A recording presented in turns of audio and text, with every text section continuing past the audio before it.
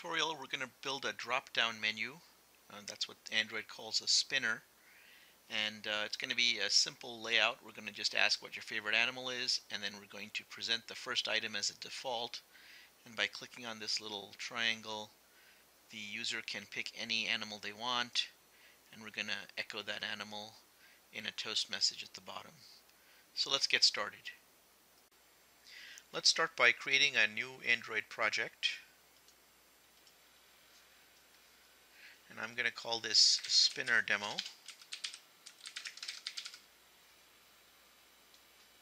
We'll leave this stuff alone and we'll start with an empty activity and we'll just leave it saying main activity.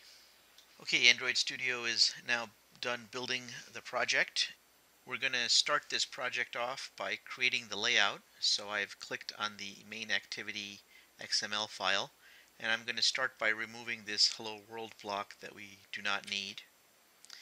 And we're going to switch over to the design mode now. And I'm just going to get rid of this space here because we don't really need that and I want to have a little bit more room to work with over here.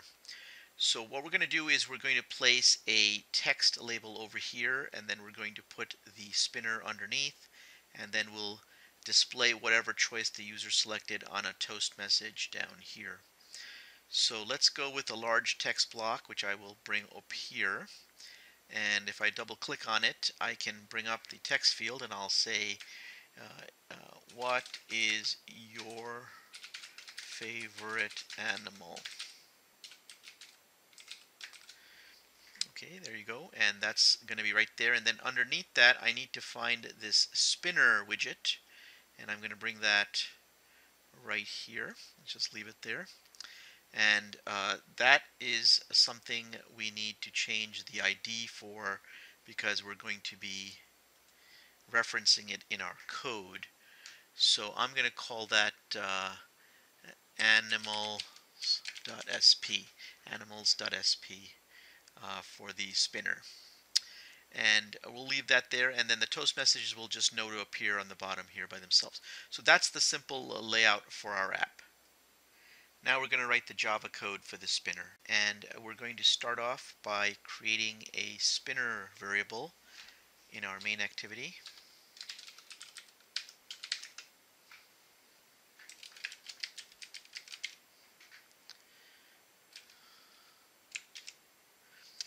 And we're going to allow the user to select from a, a bunch of animals on a list so we're going to first create a string array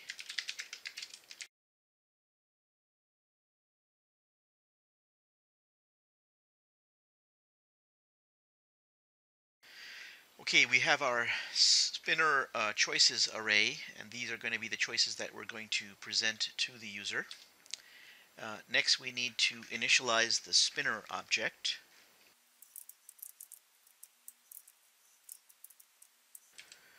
Uh, the next thing that we need to do is we need to configure the spinner and the easiest way to do that is to create a helper object called an array adapter. Okay, it's worthwhile to go over the arguments in the parameter list for the array adapter constructor.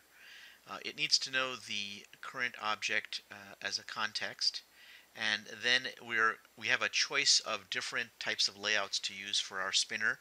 The most common one is this simple spinner drop down item and then we need to load it up with the choices that we're going to use for this particular spinner. Once we have this adapter we can attach it to our spinner.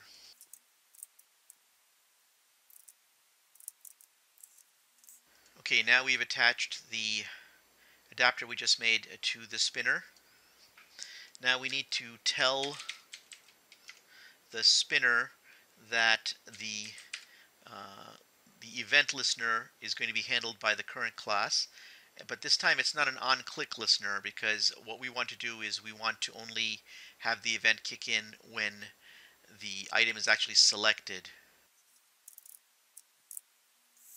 You can see we get an error here because the current class uh, does not implement this uh, functionality, so let's take care of that.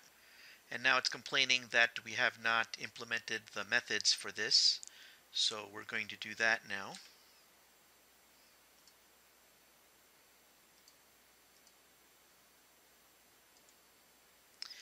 And this one is used if they bring up the spinner and then exit it without selecting anything, but we're not going to do anything if that's the case. Uh, we're going to use this one here, and we're going to insert a toast message echoing the one, uh, the selection that they made. Now, looking over here, uh, you can see that when this item is called, there are several parameters that are passed. This position identifies the position in the list in terms of the order in which the spinner was presenting the items.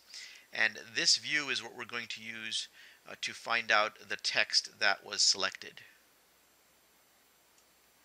I've added a toast message that will allow us to echo the choice selected by the user. And now it's time to test the spinner. I've got my emulator up and running and you can see it starts off with the default value which is the first item on the list. Uh, but now we can just pick any item we want and we get a toast message showing what item we picked.